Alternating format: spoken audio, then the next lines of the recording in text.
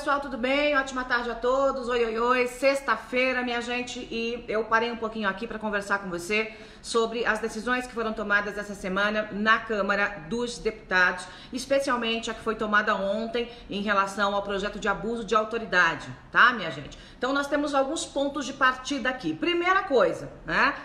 O que foi aprovado o que pode acontecer agora e quais foram os bastidores dessa aprovação do projeto de abuso de autoridade, batizado de abuso de autoridade, né? Um projeto que é muito polêmico, um projeto que o texto, a redação do texto, né, é uma redação que incomoda, incomoda muito, é uma redação ruim, é uma redação que precisa ser melhorada ou que precisa ser vetado. E agora cabe né, a gente trabalhar junto com o presidente da República o veto de vários pontos desse texto ou até do texto total. É provável, né, é mais provável, a gente nunca sabe né, qual é a matemática da política, não é uma matemática básica, tá? É sempre uma matemática com muitas variáveis, né?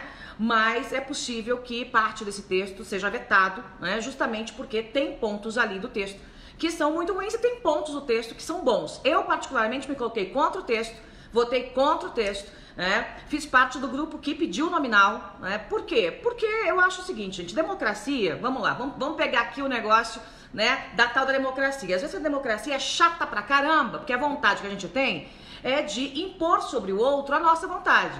Essa é a vontade que a gente tem. É de chegar lá e dizer assim, ó, a vontade é minha, eu que tô certo, e pau, vai fazer o que eu tô mandando. Mas, lamentavelmente, lamentavelmente não, né, gente? Porque a democracia é ruim, mas ainda é melhor que todos os outros regimes. Não inventaram algo melhor. Então é o que nós temos, né? Então não adianta chegar lá e dar um tapão na orelha de ninguém e dizer vai fazer o que eu tô mandando, porque lamentavelmente, né, não tem como fazer. Porque essa coisinha da democracia diz que a maioria vence. Então a maioria venceu. Havia um grupo é, de 51, 52 parlamentares Inclusive que assinaram uma lista, tá, gente, para pedir nominal, né? Isso não foi aceito pela mesa, a mesa não aceitou a votação nominal com a lista assinada, porque teria que conferir assinatura por assinatura, né? Tem gente que é, já fez malandragem, colocar no passado assinatura falsa, tal, aquela coisa toda, então realmente tem que ter a conferência, né? Porque imagina um negócio desse, vai pedir né, nominal ali e tal. Deixa eu ver aqui. É, Márcia. Tá dizendo, olha, o Maia tratorou quem pediu votação nominal. Olha, gente, eu acho particularmente, né? Por isso integrei o grupo ali, que é, cada um é responsável por seu voto. Quem quer votar a favor, vota, quem quer votar contra, vota. Agora tem que botar digital lá, tem que botar o dedão, né? Tem que pegar o dedão lá, ó, e ó, bota o dedão lá e mostra como é que votou, né? Então a nominal era importante por isso, né? O PSL encaminhou contra, né? Votou contra o abuso de autoridade o líder, inclusive, apresentou um destaque. Agora, algumas pessoas me perguntaram o seguinte: olha, Joyce, por que, que você não pediu nominal? Eu não tenho esse poder regimental. Eu preciso que vocês entendam até onde eu posso ir. Vocês precisam entender até onde eu posso ir. Há uma confusão danada, né? E eu entendo, porque eu mesma fui entender depois de estudar o regimento, de quais são os meus papéis como líder do governo no Congresso Nacional, de qual é o papel do líder do governo na Câmara, qual é o papel do líder do partido do PSL. Como eu sou do PSL, partido do presidente, e né, é, também sou líder do governo no Congresso Nacional, há um, um embaralho nesse e ajuda nas articulações na Câmara, se embaralha tudo esse negócio.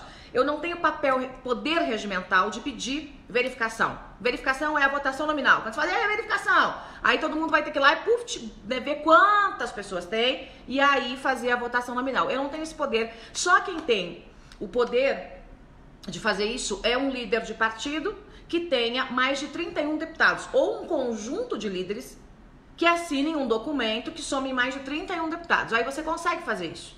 Aí você consegue fazer isso mas nós não tivemos líderes nenhum que assinou para isso. Né, para que tenha, tivéssemos aí um número de 31 parlamentares. Né? Acho que isso é, é, ruim, já me posicionei ontem, eu posicionei no Twitter, não gosto da legislação, acho que tem que ter uma lei de abuso de autoridade sim. Né? Vamos começar aí terminando com abuso de autoridade, que eu acho o máximo do abuso da autoridade, que é o foro privilegiado. Não é um abuso de autoridade o foro privilegiado? O foro privilegiado é abuso de autoridade, gente. Né? Então tem que ter uma lei, sim, que acabe com o foro privilegiado, tem que ter uma lei é, que pegue lá o, o, o, o, político que dá carteirada. Essa lei pega, tá? É, essa é a parte boa dessa lei. Ela pega o político que dá carteirada, ela pega o prefeito, governador, é, presidente da república, os deputados, senadores, né, que eventualmente abusam da autoridade. O problema é que ela estica demais para algumas áreas da segurança, né? Para algumas áreas, como Ministério Público, Judiciário e Polícia. Não tem abuso de autoridade na Polícia, no Judiciário no Ministério Público? Ah, gente, claro que tem, né? Vamos combinar. Vamos combinar que tem muito abuso de autoridade, sim. Né? Tem muito abuso de autoridade. Quer um exemplo? Quando tem um juiz que solta um bandido e você sabe que é bandido, e o juiz sabe que é bandido, e todo mundo sabe que é bandido, é ou não é abuso de autoridade? É abuso de autoridade, certo? Então tem que ter uma lei para abuso de autoridade, para quando a autoridade achar que está acima do bem e do mal, ela seja punida. Eu vou te dar mais um exemplo. Ministério Público do Trabalho. Quantas vezes, quantas vezes, tá lá o tiozinho, tá lá, abriu a padaria, abriu lá o mercadinho, não sei o que, aí chega um fiscal, aí chega outro fiscal, aí o fiscal vai lá e fala assim, né, né eu vou dar aqui, ó, esse negócio aqui pra você, você precisa desse papel aqui, né, pra ser aprovado seu negócio? Mas pra eu te dar esse papel, amigo, né? É, você tem que pagar um dinheirinho aí. Se não cair uma bufunfa aqui na minha mão, ó, não vou liberar papel porcaria nenhuma. É abuso de autoridade. Então esse camarada aí tem que ser punido. Né? Outro exemplo. Chega lá, polícia que não é polícia, porque polícia séria não é bandido. Polícia que né, uh, uh, agride o cidadão comum. Tô falando não, tapas em bandido não, gente, porque aí dependendo do bandido até eu sou a favor, né? Tô falando disso não né? Aquele que se traveste de polícia para cometer crime. Isso também é abuso de autoridade. Então a gente tem que ter uma lei de abuso de autoridade para punir malandro. Aí sim. Né? Aí faca na caveira. Aí a lei tem que ser faca na caveira, né? Para punir fábrica de habeas corpus, um atrás do outro. Isso sim, tem que ter. Por óbvio que tem que ter. Né? Mas o texto que tá lá tem problemas. Tem coisa boa, repito, porque pune é, o político, que abusa de autoridade, vale para os três poderes. Eu acho que essa é a única coisa boa dessa lei aí que foi aprovada. Vale para os três poderes: legislativo, executivo e judiciário. Então é pau que bate em Chico, bate em Francisco. Mas, em relação, por exemplo, às polícias, né? Uma coisa que a gente ficou de cabelo em pé. Ah, o, poli ah, o policial não pode constranger na hora da prisão, não pode constranger aquele que está sendo preso é, e não pode algemar se não houver o risco da fuga do preso.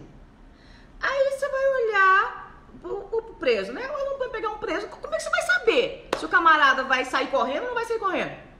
Como é que você vai saber se tem risco ou não? Pelo focinho? Você vai olhar assim o rosto, vai falar, esse aqui é bonitinho, esse aqui não vai fugir. Tem cara de James Bond, não vai fugir. Não dá, né, gente? Então fica um trem assim muito subjetivo. E tem vários pontos nessa lei que são subjetivos. Qual é o nosso trabalho agora? O trabalho agora é o veto, né? A esses pontos da lei, subjetivos, tá? Deixa eu é, ver aqui, tem um bobalhão que falou assim, Joyce passando pano. Deixa eu falar uma coisa pro seu bobalhão. É, eu não sou mulher de passar paninho em coisa nenhuma. Ontem, eu levantei minha mão lá, ó, para verificação, para votação nominal. Agora, você tem que entender que você está numa democracia. Se você não gosta desse negócio de maioria vence a minoria, e eu ontem não gostei, particularmente, eu não gostei, porque eu era minoria, eu queria vencer. Eu não gostei, não. Aí você tem que mudar para Cuba, Venezuela, porque esse negócio chatinho chamado democracia tem dessas coisas. Tem constituição, tem regimento, tem lei e tal. É um porre. Sabe o que é o porre? Pois é.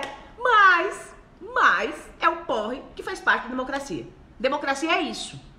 Né? Então a gente precisa agora, né? Quem levantou, quem não levantou a mão do PSL? Joyce, eu não vi, gente, porque ó, eu, eu quando o, o, Rodrigo Maia me perguntaram aqui, eu tô no YouTube e no Facebook, tá ao mesmo tempo. Quando o Rodrigo Maia a, é, começou a, a, a, contar, eu comecei a contar também, olhando para trás, para ver cadê, quantas pessoas tinha e tal. E, e vi um volume né, grande de pessoas, não consegui contar ali, mas vi um volume grande de pessoas é, com a mão levantada. Então, é, eu não, não, vi, a minha bancada do PSL, ela fica toda na primeira fileira da, ali da, da Câmara dos Deputados. Então, eu não consigo ver todos ali. Mas eu imagino que todos tenham levantado a mão. Se não, boa parte, ou aqueles que estavam em plenário, não sei. Não sei se todo mundo estava no plenário também, porque às vezes não sai, vai para lá, vai para o gabinete. mas é, eu levantei a mão, tava eu, tava a Bia, tava a Carol Detone, a gente estava perto ali, nós levantamos a mão justamente para pedir a votação nominal, né? Para que exatamente nós tivéssemos a digital, né? Quem está votando de que forma? Porque isso é importante. Né? Agora, vamos lá, o que é possível fazer, tá, gente? O que é possível fazer agora? Trabalhar com veto, apoiar o presidente Bolsonaro no veto, né? E mais do que isso, não é só apoiar o presidente Bolsonaro no veto a trechos da legislação. E eu digo trechos da lei porque, de novo, há partes boas na lei. Até a Bia Kicis ontem fez um discurso na tribuna dizendo: olha, há partes boas na lei realmente. Né? Porque quem mais sofre com abuso de autoridade, gente, é o coitadinho. É o coitadinho que mais sofre com abuso de autoridade. Né? Com o político que dá carteirada, de novo, com é, policial, Ministério Público, juiz, né? Eu me lembro de um caso que foi virou repercussão nacional no Brasil. Eu estava atuando, eu acho que não me lembro na CBN, talvez na Band News, não me lembro direito, mas que um juiz pôs para fora um cidadão, um juiz do, da área do trabalho, ele pôs para fora o, o, cidadão, um cidadão que é, chegou na audiência, uma audiência trabalhista, e nesse caso o cidadão tinha razão, é, esse negócio de trabalhista é uma coisa esquisita, eu não gosto muito dessas coisas. Mas há casos, obviamente, em que é, o trabalhador tem razão e ele tinha razão e ele chegou lá de chinelo de dedo. Chinelo de dedo, né? E o juiz botou ele pra fora. Ele falou: Você não tem vergonha de entrar numa audiência de chinelo de dedo? E aí o, o, trabalhador, pobrezinho da roça, falou assim: Mas doutor, eu só tenho esse, eu não tenho sapato. Eu só tenho esse. É? Então isso, isso, isso é uma coisa nojenta, uma excrescência, né? Então, além da, da, da, da arrogância, da petulância, né, da humilhação que aquele juiz é, é, fez o cidadão passar, né? Então, e ele fez por quê? Porque ele era o juiz da causa. Ele abusou de sua autoridade. Ele não abusou da autoridade mandando prender o, o, o, o tiozinho lá, mas ele abusou da autoridade né, com esse papel ridículo, né? humilhando aquele tiozinho lá da roça que estava reivindicando é, ganhar o seu salário que ele tinha sido botado para fora e nem o salário tinha levado, né? Então só para você entender que nós precisamos frear, precisamos frear quando há abusos, mas jamais, jamais impedir, atrapalhar ou burocratizar as investigações em cima de corruptos ou de quaisquer um que cometam crimes.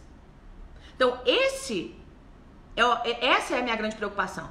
A minha grande preocupação é que mantenhamos as investigações e punições que no Brasil ainda são brandas em cima daqueles que cometem crimes. Ponto. Acabou. É simples assim. Pá, pá, pá. Resolvido. Né? Aí, gente, é o seguinte. que mais que dá pra fazer? Vocês acham que no é meu plano, ó, tá lá na frente, né? Então o presidente vai, vai vetar, deve vetar alguns pontos ali da lei Aí nós temos que juntos, eu, vocês, os deputados ali, se articular, né, para que o veto não seja derrubado. Aí é aquele movimentão, né, de pressão mesmo, né, para que o veto não seja derrubado, porque lembre-se que o Congresso tem sessão do Congresso na próxima quarta-feira, tá, gente? É, próxima quarta-feira.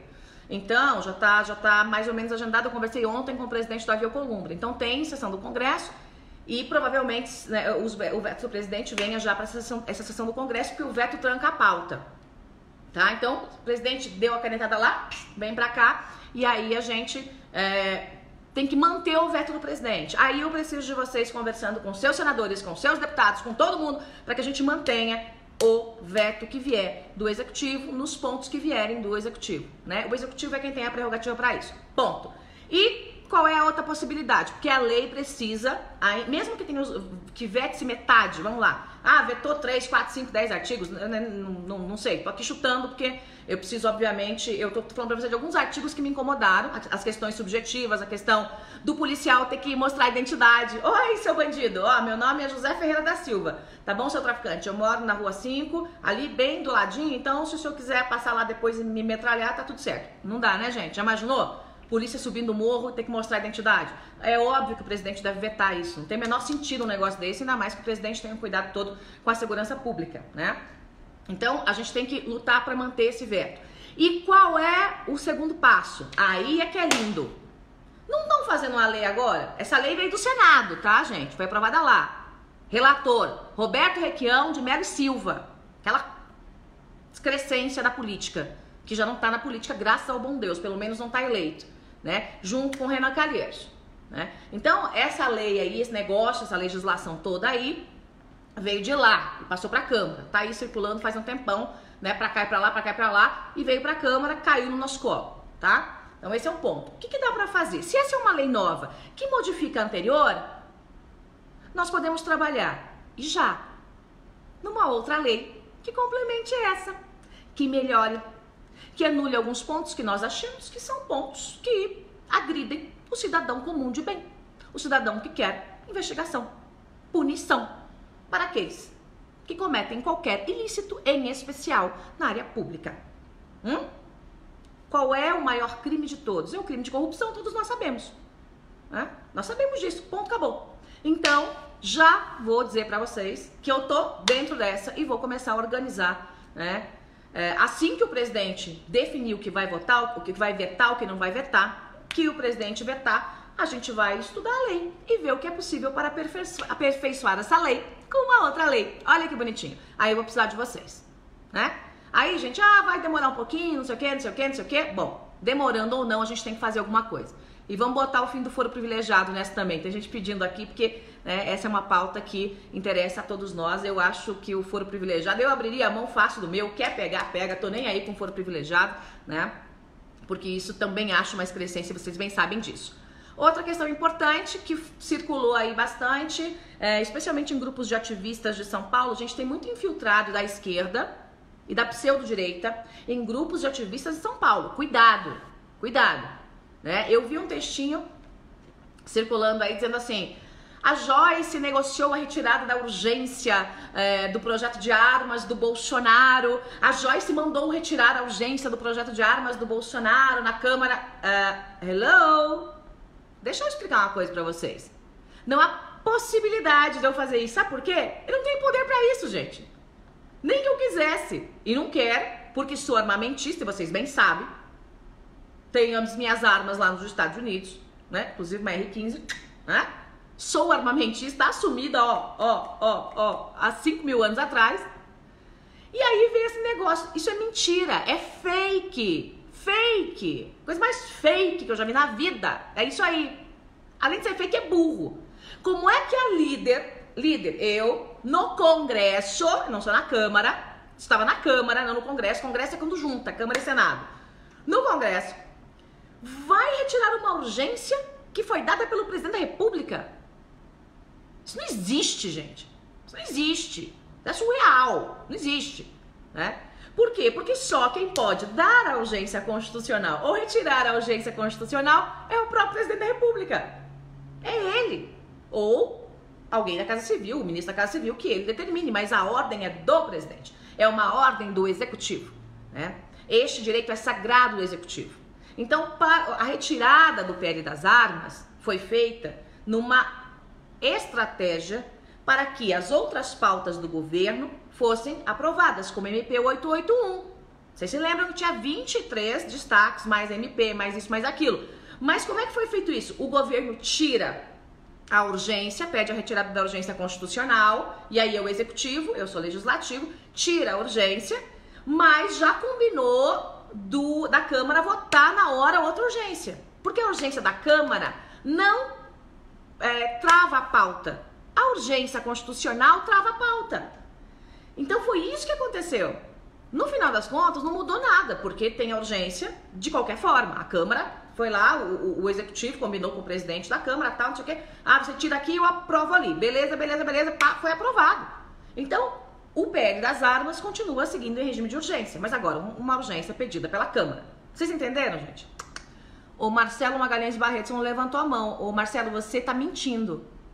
Veja as imagens. Você está mentindo. Eu não só levantei a mão, como depois peguei a plaquinha lá, tá? É... Agora, eu, sozinha, sozinha, ou com 10, ou com 20, né? Não tenho os votos para aprovar um projeto que a maioria, né? ou para reprovar um projeto que a maioria queria. Né? É simples assim. tá? Então, gente, só para botar aqui a, a, a, ordem na baderna, os pingos nos is, explicar tintim por tintim o que aconteceu para vocês entenderem, tá bom, pessoal? É, nós ainda, é, isso aqui não é uma, graças a Deus, não é uma ditadura, né? Então, nós aprovamos leis e podemos aperfeiçoar leis e podemos anular leis com outras leis.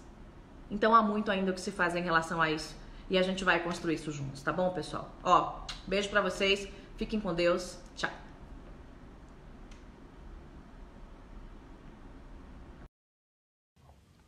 E aí, pessoal, beleza? Sou Rodrigo Lima, jornalista. Gostaram do vídeo? Então agora chegou a hora da gente opinar. O que você achou do conteúdo do vídeo? Você é a favor, contra? Deixe a sua opinião. Ela é muito importante para a gente construir um país melhor, um estado melhor, uma cidade melhor. Conto com a sua participação e um grande abraço. Jornalismo aqui tem lado, o seu. Até mais, pessoal.